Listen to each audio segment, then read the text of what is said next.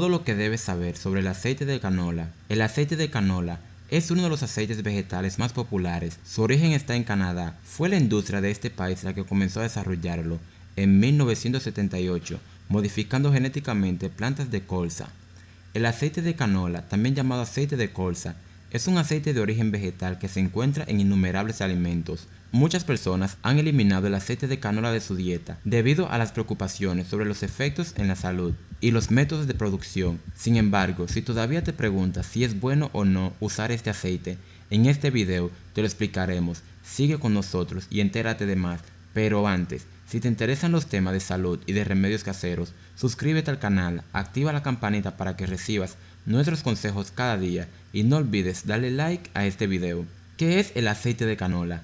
El aceite de canola o colza es utilizado frecuentemente en la industria alimentaria en multitud de elaboraciones. El aceite de canola es uno de los aceites vegetales más populares. Aunque la planta de canola se ve idéntica a la planta de colza, contiene diferentes nutrientes y su aceite es seguro para el consumo humano. La mayoría de los cultivos están modificados genéticamente para mejorar la calidad del aceite y aumentar la tolerancia de la planta a las herbicidas. ¿Cómo se elabora? Hay muchos pasos en el proceso de fabricación de aceite de canola. Según el Consejo de Canola de Canadá, este proceso implica los siguientes pasos. Paso número 1. Limpieza de semilla. Las semillas de canola se separan y se limpian para eliminar las impurezas, como los tallos de las plantas y la suciedad. Número 2. Acondicionamiento y descamación de las semillas. Las semillas se precalientan aproximadamente a 35 grados Celsius.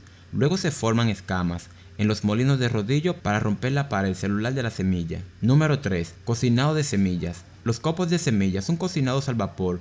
Por lo general, este proceso de calentamiento dura entre 15 y 20 minutos de 80 a 105 grados Celsius. Número 4. Prensado. A continuación, los copos de semilla de canola cocidos se prensan en una serie de prensas de tornillo. Esta acción elimina el 50 a 60% del aceite de los copos, dejando que el resto se extraiga por otros medios. Número 5. Extracción.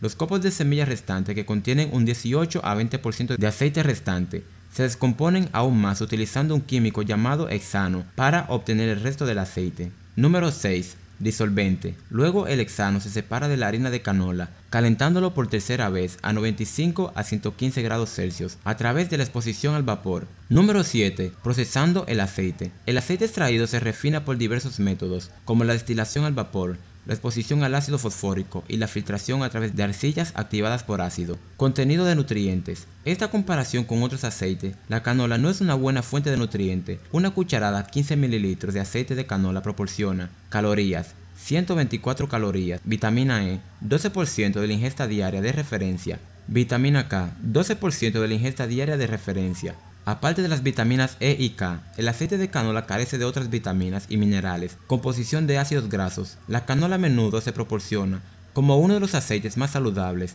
debido a su bajo nivel de grasa saturada. Aquí está la descomposición de los ácidos grasos del aceite de canola. Saturadas 7%, monoinsaturadas 64%, poliinsaturada 28%.